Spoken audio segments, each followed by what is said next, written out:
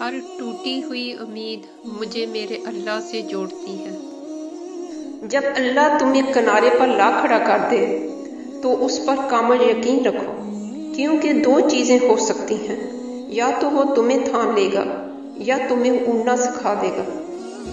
ज़िंदगी के सफ़र में उन लोगों पर तवज्जो ना दे, जो आपके रास्ते में खड़े थे, बल्कि उन लोगों का सोचे, जो हर मकाम पर आपके साथ थे। कोई इंसान कितना भी गुनाहगार क्यों ना हो? रब्बुल आलमीन इसके लिए दवा का वसीला, तोबा का दरवाज़ा और रिजक का दरवाज़ा कभी बंद नहीं करता।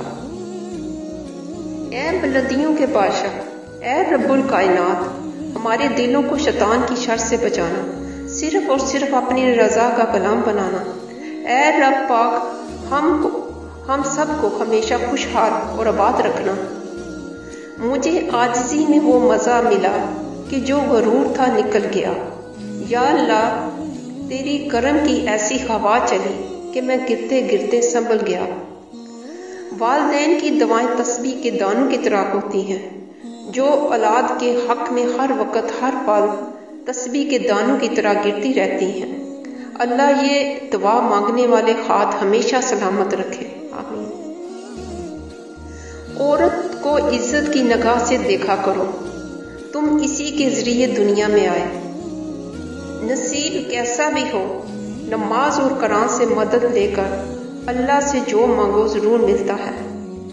जब अल्लाह चाहता है कि किसी बंदे से दोस्ती करे तो इसकी जबान पर अपना ज़िक्र और दिल पर अपनी फ़िक्र के दरवाजे खोल देता है। हालत से मांगना सुन्नत है। अगर दे दे तो रहमत। ना दे तो हिकमत, मखलूक से मांगना जिल्लत। अगर दे दे तो आसान, ना दे तो शर्मिंदगी।